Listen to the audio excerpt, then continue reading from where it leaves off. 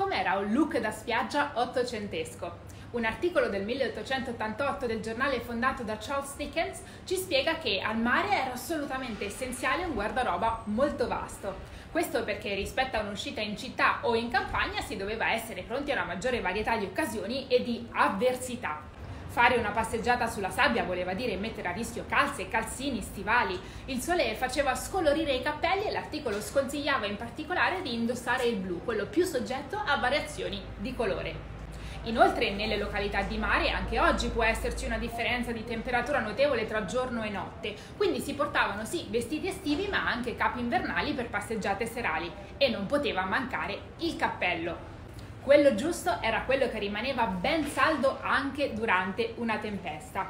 Ci sorprende però sapere che il costume da bagno non era obbligatorio, non perché fare il bagno non fosse pratica comune, anzi, ma perché se si sceglieva di non portare un costume c'era sempre una cosiddetta bathing woman in spiaggia, cioè una signora che affittava costumi da bagno.